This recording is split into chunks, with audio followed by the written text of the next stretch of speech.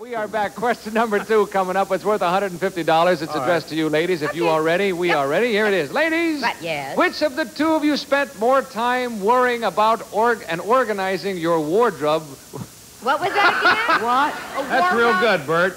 I'm going to try this again, okay? Here we go. Ladies, Yes. which of the two of you spent more time worrying about and organizing your wardrobe for doing this show? Ah. You or your husband? There it is, finally, folks. Which of the two you spent more time worrying about and organizing your wardrobe to do this show? You or your husband? Think about that. We'll come back to it in a moment. Uh, I got a feeling that's a pretty good question. Yeah, that Because- is a good Because for those of you yeah. at home who may not know, we do five shows, and so our couples have to come up with five changes. Yeah. Who spent more time worrying tough. about it, Charlie? I've, I've been wearing the same pants every show, so. Is that right? Yeah. No, you have Hey, not. so have I, Charlie. Yeah. Oh, yeah. Well, I'm you, fine. you I can tell because of the riding with the horses. Easy, Me, I can get away easy with it.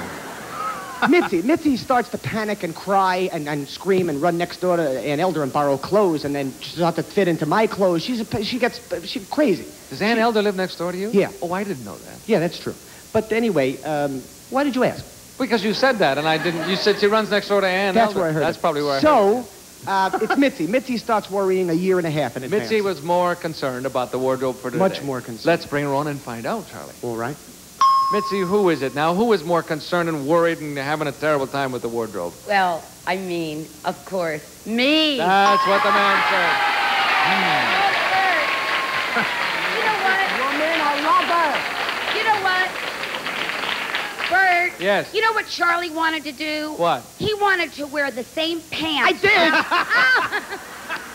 You did? No, he didn't. He just says that. Did you? You didn't wear the same pants? No. Honestly. Twice. Well, He twice. really just doesn't care That's how what Jim he has no socks. It doesn't make any difference. You have a share of the pot, darling. Yay Thank for the you. blueberries. Jim, how about Henny? Between you and Henny. Be- between who? who and, Between you and Henny. Who? who, who? that's uh, that's what it says on the name card out here. Oh, oh, Jim. that's who I brought Yes, here. you yeah. brought Henny today. Between me and Henny, I want to tell you something that Henny puts on a full makeup to mail a letter, and she has had she, she has had these these clothes hanging there since early. What is today's?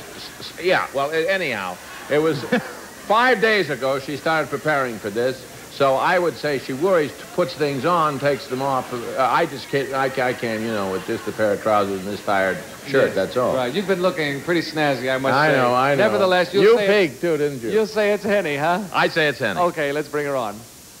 Henny, who was it now that uh, organized and hassled over and worried about this wardrobe?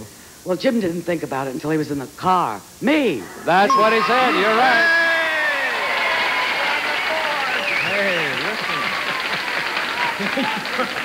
Put the banana section one bananas over that one, Henny. You're absolutely right. You have a share of that. I pie. know, I was there. Okay, Ch- uh, Chuck, uh, between you and Jo Ann, Yeah, I, I'm a silent worrier, so I stayed awake and I, I dreamed about it all night last night. you did.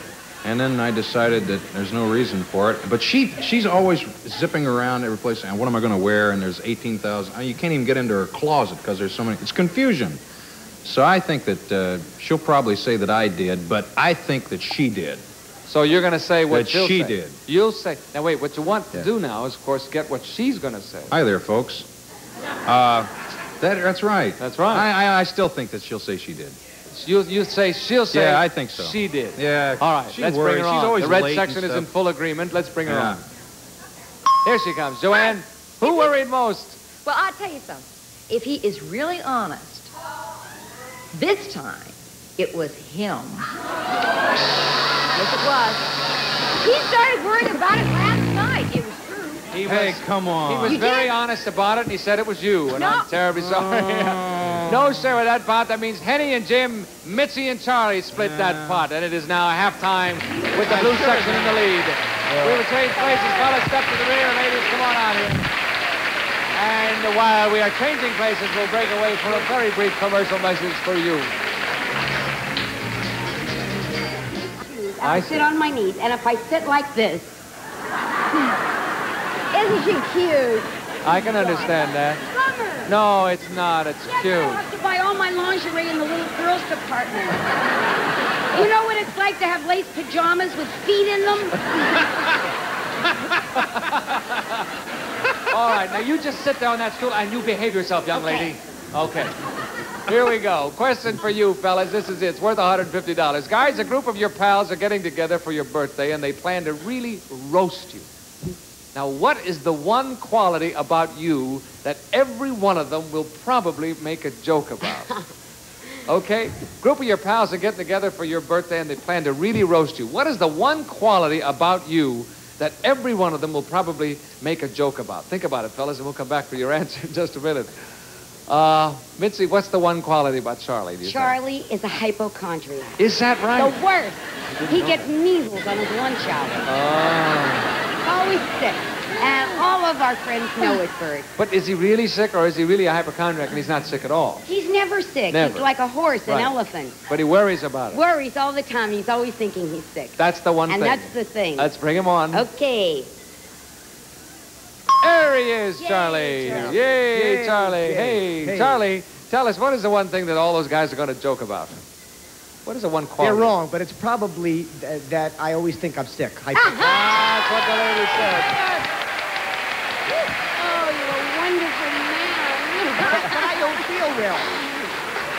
Uh, really don't Charlie, feel uh, Charlie, you're right, and you have a share of the pot. How do you feel?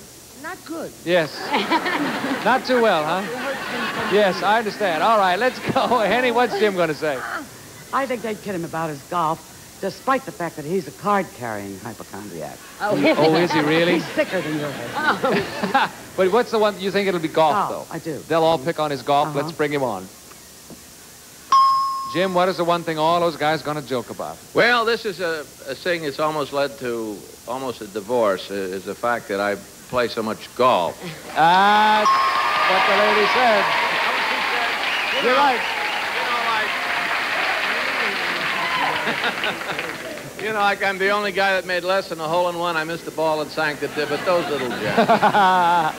okay, you have a share of the pot. You're doing beautifully on both scores. Jo Ann, how about Chuck? Well, um, the only thing I can think of, I'm just terrible because I like, I think lean and mean. And bless his heart, he's always trying to lose weight. And so everyone's always saying, oh, you've lost weight. Then he goes and eats some more chocolate bars. so I think that he would probably say his overweightness or fatness. His or... chubbiness. Oh, that was a very polite way to say it. Yes. Oh, okay. We call him his royal chubbiness. don't we? That's Winnie the Pooh. yes. Okay, let's bring on Fatso now. Uh, let's bring on Chuck now. Hey there, big guy. What's the one thing that your pals would all kid you about, Chuck? Uh, I, I really, honestly, can't come up with anything. Oh. I don't, I don't have any qualities. Uh, singing, my singing. What did she say? What uh, do, the, do the letters FAT mean anything to you?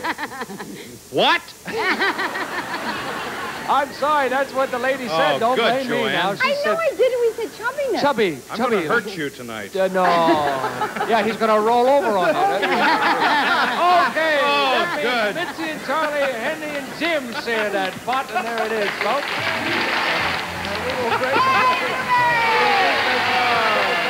Come back okay? I'm going to roll over on you. I'm going to hurt you, too.